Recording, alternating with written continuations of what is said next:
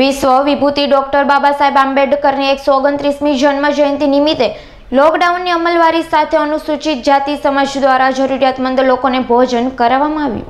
વિશ્વ વિભૂતિ ડોક્ટર બાબા સાહેબ આંબેડકરની એકસો ઓગણત્રીસમી જન્મ જયંતિ નિમિત્તે લોકડાઉનની અમલવારી સાથે અનુસૂચિત જાતિ સમાજ દ્વારા જરૂરિયાતમંદ લોકોને ભોજન કરાવવામાં આવ્યું. સમગ્ર ભારતમાં કોરોના વાયરસને કારણે એક દિવસીય જનતા કર્ફ્યુ બાદ એકવીસ દિવસનું લોકડાઉન જાહેર કરવામાં આવ્યું, જે ફરીથી આગામી ત્રણ તારીખ સુધી લંબાવેલ હોય.